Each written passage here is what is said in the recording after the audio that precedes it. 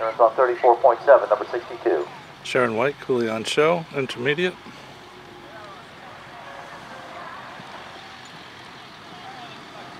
Third at the fourth, the 11th at Carolina, and then they went on to a top 10, eighth place finish at Land Rover, Kentucky.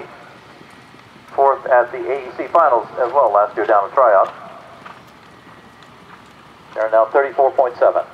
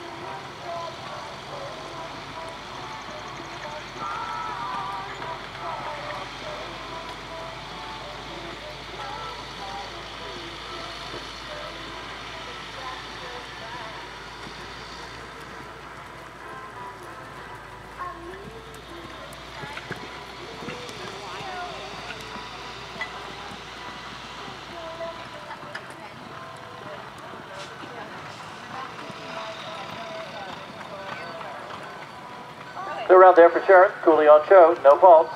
He finishes on 34.7.